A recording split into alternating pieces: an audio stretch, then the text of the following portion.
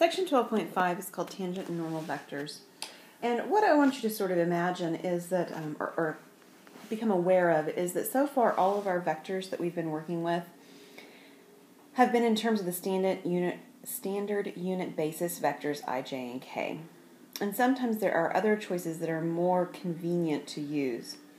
For example, imagine um, for an aircraft in flight, um, a better frame of reference for how that aircraft is moving would be in reference to the the vector upon which it's actually moving instead of the ijk vector um, that we've been using. So we're going to kind of um, start with that premise and take a look at a definition um, that's going to help us as we're taking um, a look through this section. This is definition 5.1, um, and it's talking about the principal normal vector.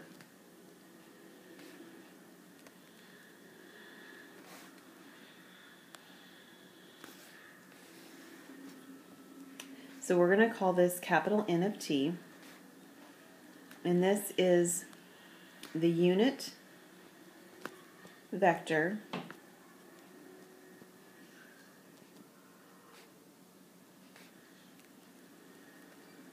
having the same direction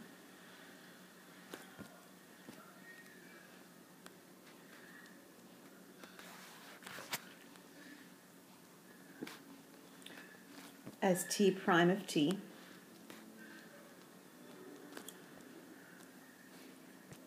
And defined by n of t is t prime of t divided by the magnitude of t prime of t. And of course this is provided t prime of t is not zero.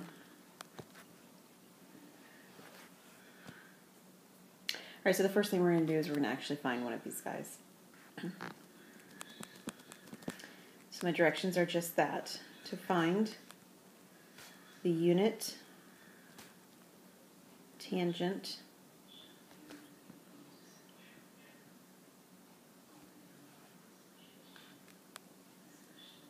and principal unit normal. Let's write that. Principal unit normal.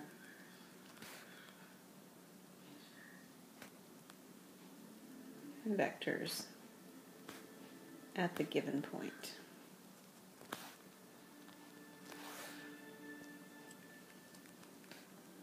And our vector valued function we're working is is r of t equals 2 cosine t, 3 sine t. And we're going to do this one at t equals 0. Now you might notice right here the 2 cosine t and the 3 sine t would be much nicer if they had the same coefficient. The same coefficient would be a circle, and this, as you know, is an ellipse, um, which means that uh, when we find magnitude and things like that, they don't all simplify and turn into just constants. Um, we actually end up with some pieces that are not constant because we're working with an ellipse. All right, so the first thing we're going to do is we're going to find a derivative, r prime of t. And of course, r prime of t is negative 2 sine t, 3 cosine t and the magnitude of r prime of t, which this is where I was talking about would be really nice if they're the same coefficient, of course they're not. This will be the square root of 4 sine squared t plus 9 cosine squared t. Um, but do notice that you could take this 9 cosine squared t and break it apart into 4 sine, uh, 4 and 5 of these. So like 4 cosine squared t and then um, 5 cosine squared t. The reason, of course, that's nice is because these two combined are a constant. Um, they're equal to the value of 1 and then times the multiple of 4 in front of them. So those two pieces actually are, are the value 4. And then we've got plus the 5 cosine squared from the other piece still there.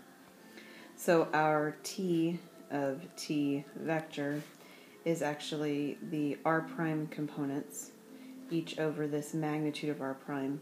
So you have negative 2 sine of t over the square root of 4 plus 5 cosine squared t.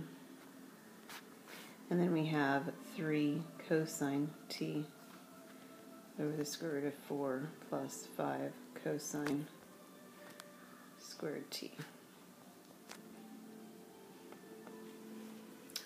All right, so t of 0, which is the standard, um, the uh, unit tangent vector evaluated at the point 0.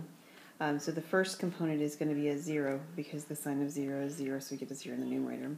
The other component is going to have a, a 3 on top because the cosine of 0 is actually 1. On bottom, I'm going to get this, the cosine of 0 being 1 is going to give me the 5 here, plus this 4, which will be the square root of 9. So then, of course, the square root of 9 is actually 3. So this vector ends up being the vector 0, 1 awfully nice. A lot of work to get to 0, 1 though. Um, even more work, however, is going to be that standard normal vector, or principal unit normal vector, excuse me, that I were talking about before. Um, because if you'll take a look back here, what it says I need to do is I need to do the derivative of t prime of t, which means which means I actually need to take the derivative of this, which is, as you can see, uh, not very friendly. I've got uh, quotient rules. I've got a chain rule in there. Uh, it's just downright messy. So we are going to take the derivative of that, however. So as we take the derivative of that piece, the t prime of t, this is going to take me probably a couple of lines to write out. I need the denominator, which is 4 plus 5 cosine squared of t times the derivative of the numerator, which is negative 2 cosine t, minus, now we're going to do the numerator, which is negative 2 sine t, times the derivative of the denominator, which is the messy piece, um, because it is a chain rule. So we have a 1 half. We'll rewrite everything to the new power of negative 1 half. So 4 plus 5 cosine squared t to the negative 1 half and then I need to multiply by the derivative of the inside, and the derivative of the inside, um, it's, it's a chain rule, again, because you've got cosine squared. Um, so the derivative of 4, of course, is 0, and the derivative of 5, um, the coefficient 5 will be there. And then the derivative of cosine squared, the 2 will come down, so I'm going to get 10. Let me see if I can give myself just a little bit more space to get this written out here. We may have enough space, we'll see. Okay, so I've got the 10, and then I'm going to have cosine technically to the 1 power, and the derivative of cosine is negative sine, so here's the negative at the beginning, and then I'm going to have sine of t at the end.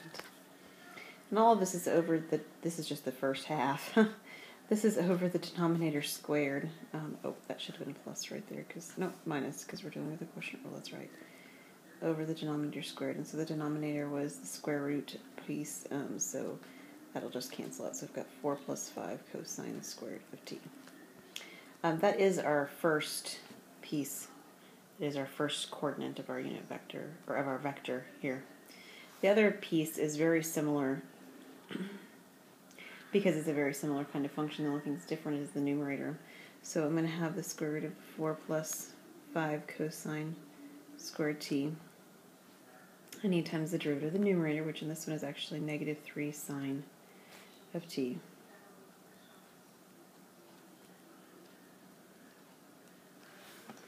And then I've got minus the numerator, which is the 3 cosine t, times the derivative of the denominator. So I'm going to get another 1 half. I'm getting another 4 plus 5 cosine squared t, this is to the negative 1 half again. Did I get that one above? Yeah, I did. And then the derivative of the inside is exactly the same because it is the same inside function. So it's negative 10 cosine of t sine of t. All over the same denominator as the other piece. Now, you might be tempted to start cleaning this up a little bit, and of course you can if you'd like. Um, but the reality is, we really only care about what happens at the particular point zero that we're working with. So I'm far more inclined to actually start evaluating as soon as I can to get rid of a lot of the pieces of information um, by plugging in the number zero. For example, just like on the piece of this problem before, underneath the radical, when I plug in, plug in the zero, cosine squared of 0 is 1, and then I've got that times the 5, so I get 5 plus my 4 is 9, so this is actually the number 3. So this piece right here actually is just the same value as the value 3. Um, the next piece says negative 2 cosine of 0, so that would just be negative 2 because the cosine of 0 is 1. I've got minus and negative here, so that's plus. Now, here's the deal, is that the sine of 0 is 0, so I don't actually get anything from the second piece. And the denominator should be the 9 because I've got cosine squared, which would be 1 times my 5. 5 plus my 4 is my 9. So this is actually 3 over 9. Now we're going to do the same thing with the other piece. The other piece is actually a little bit easier though even than that because I've got a sine of t here. And when I plug in 0, this is going to be a 0. And then over here, it's all multiplication on the second piece, and I've also got another sine of t zero here, so when I plug in 0, I get 0. So the second piece is actually just going to be a big old fucking 0. So I end up getting, for t prime of 0, I get negative 6 over 9, or negative 2 thirds, 0. So obviously the magnitude of t prime of 0 is 2 thirds. So my standard normal, my principal unit normal vector is going to be um, my vector negative 2 thirds 0 divided by 2 thirds, which of course that's only going to happen when I have one of the components equal to 0. This gives me negative 1, 0 for my principal unit normal vector.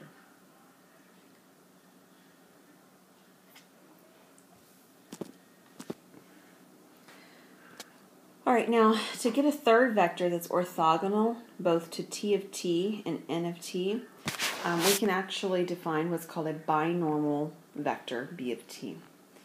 So that's what we're going to do next. This is definition 5.2. The binormal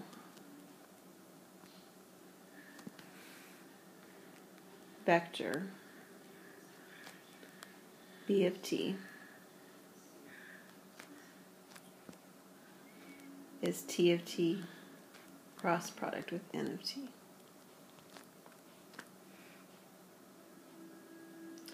And this, um, obviously, in a problem like this, means that you're going to often need to find the T of T and the N of T first before you can take the cross product. So it's a lot like the last problem we did, um, but you're just going to do something with that information a step further. So let's take a look at example number two, which is the following. Find the binomial, bi, binomial, binormal